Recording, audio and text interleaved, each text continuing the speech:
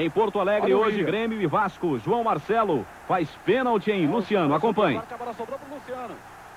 Pênalti, pênalti. O juiz marcou pênalti. Bismarck vai lá, bate faz. Faz um para o Vasco, zero para o Grêmio. No segundo tempo, Maurício entra na área e é derrubado por Luiz Carlos Vinck. Pênalti. Agora contra o Vasco, hein? Assis vai lá, bate e marca. Final, Grêmio 1, Vasco 12 jogos sem vitória, também 1.